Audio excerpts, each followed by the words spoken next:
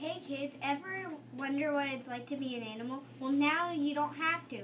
You can become one with Paw Print Munchies. This cereal is awesome. In stores December 16th. It has games on the back.